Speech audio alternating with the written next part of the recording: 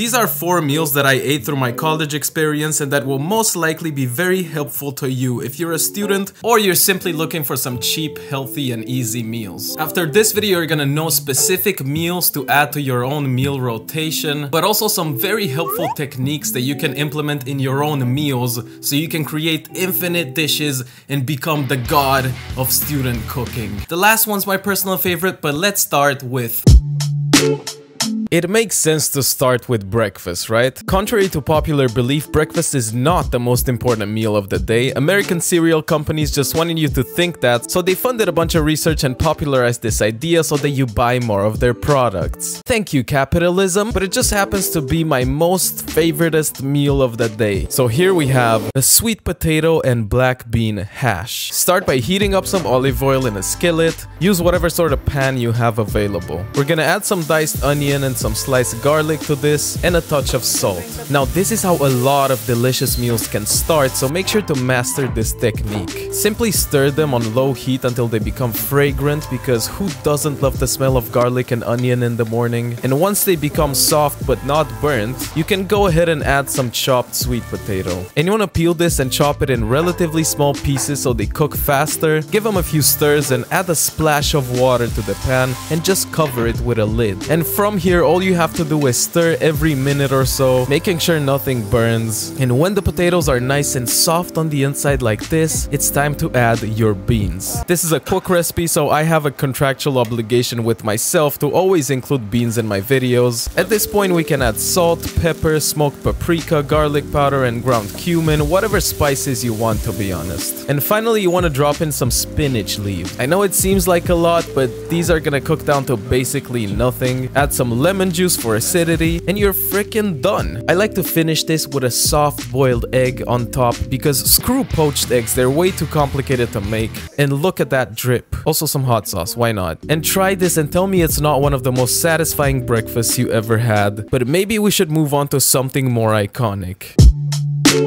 Before we get into that, I just want to say real quick, I'm releasing a freaking cookbook. This thing is stacked with tasty, healthy, and cheap recipes, which is why it's called Tasty, Healthy, Cheap by me. Look at that dumb face. And it even has a whole chapter dedicated to meals that got me through college. If you want to get your hands on a very useful cookbook and also support your boy, pre-order now and let me know that you did that in the comments.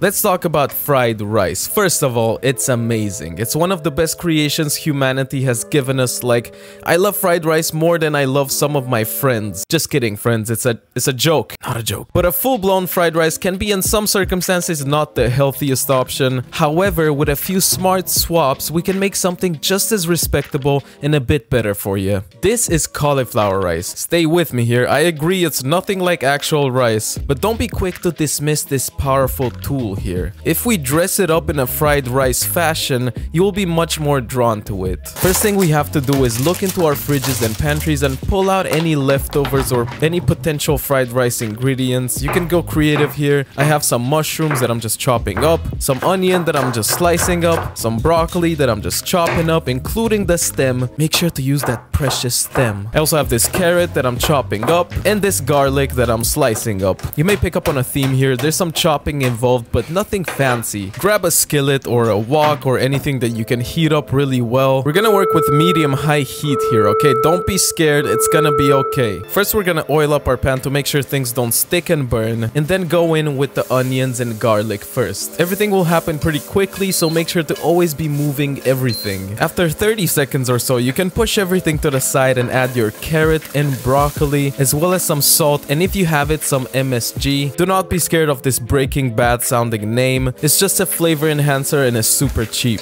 Add little amounts of oil if necessary to simply keep things moving until everything is cooked. It's actually a perfect opportunity to practice your tossing skills and then add the mushrooms last because they cook fast. And when you think the time is right, pull your veggies to the side and add your cauliflower rice and just add the amount that feels right to you. There's no need to measure anything here. You can learn some intuitive cooking through this recipe. And same thing, just keep it moving until it's cooked. Now we gotta add one more element here and that's the egg. Crack some eggs in a bowl with some salt and white pepper and beat them together. Then to the hot pan, pull everything to the side and add the eggs. And this is such an amazing recipe because it only requires one pan for all these stages of cooking. There are no rules here and you can fully cook the egg there or you can kind of mix everything together and the egg will cook within the rice which is what I prefer. Finish with some soy from a forgotten bottle from the back of the fridge. Add rice vinegar to balance out the dish with acidity. I also like adding a little sesame oil but that's optional. And that's it. Top it with some green onion and enjoy it hot and steamy. This boy clocks in at this much per portion which is pretty dang cheap.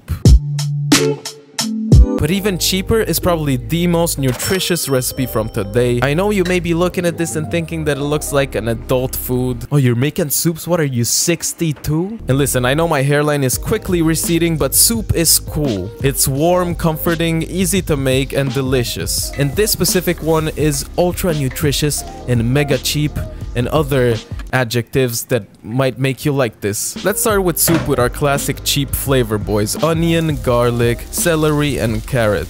Add some salt and give them a good stir, preferably in a Dutch oven, but any big pot will do. Now let's add some flavor. I went with smoked paprika, dried thyme, cumin, and a touch of ground nutmeg. Toast these spices for a few minutes until you can smell them in the air. And now it's time to add some tomato puree. A can of this stuff is 45 cents and it adds so much flavor to the dish. And then we can add an actual can of tomatoes. Same goes for this one, cheap and flavorful. And now we need some bulk to this soup. And I went to the star of the show, green lentils. Lentils are simply amazing, packed with fiber, protein, and carbs. They're also a very sustainable crop. We're also gonna add some big potato chunks because potatoes make everything better in my opinion. Like imagine we replaced all guns with potatoes. Top everything with water and add a bouillon cube. This thing packs a lot of flavor for just 10 cents a piece. Now put the lid on and just let it simmer for about 30 minutes. And trust me, this soup takes very little effort and let's be real, 30 minutes is not that much to wait for this massive pot that has 5 to 6 hefty portions of hearty and delicious lentil soup. I like to top it with some Greek yogurt and eat it with a piece of toast on the side, but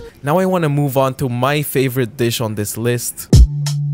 Salad can be so much more than boring leafy greens on a bowl with bland veggies. I like to experiment with salad because I like the idea of throwing a bunch of things together in a bowl and forming a special thing from that simplicity. I chose to replace the base of green veggies with pasta. Everyone thinks of pasta as unhealthy and full of carbs, but I just frankly do not care. Pasta is delicious and I'm not gonna take it out of my life. I cooked my pasta and let it cool down on a plate and in the meantime I just want to prep all the other ingredients. I'm going with a green theme here with some crunchy crunchy celery, some fresh green bell pepper, some green onion, and I also have a leftover chicken breast which is not green but is my green even the same as your green?